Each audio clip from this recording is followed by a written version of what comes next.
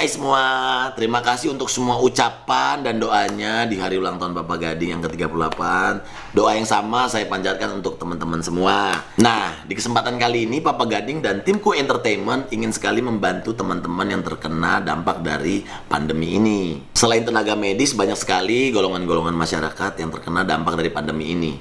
Mulai dari kehilangan pekerjaan sampai mereka kesulitan mencari mata pencarian mereka masing-masing. Seperti sopir taksi. Di kesempatan kali ini Papa Gading dan tim Go Entertainment bekerja sama dengan teman-teman di Hak Asasi Perut atau HAP ini mensupport 1000 box KFC untuk 888 pengemudi taksi di acara Infinite Kindness. yang diselenggarakan tanggal 8 Mei 2020 di Senayan City.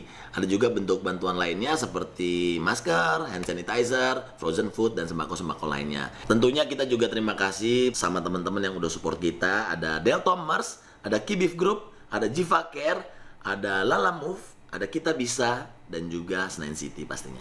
Sekali lagi terima kasih semuanya, stay healthy, stay safe. Gimana Pak pengalamannya Pak? Ini tadi udah antri udah berapa lama? Alhamdulillah namanya rezeki ya udah ya semoga yang ngasih dermawan ini murah rezeki sehat Amin. selalu Bapak seneng nggak Pak? Alhamdulillah senang banget Pak Dari teman-teman hak asasi perut nggak bisa bantu apa-apa lagi. Karena saya yakin Tuhan yang balas kebaikan dan saudara kalian semua. Makasih ya semuanya, makasih, makasih, makasih.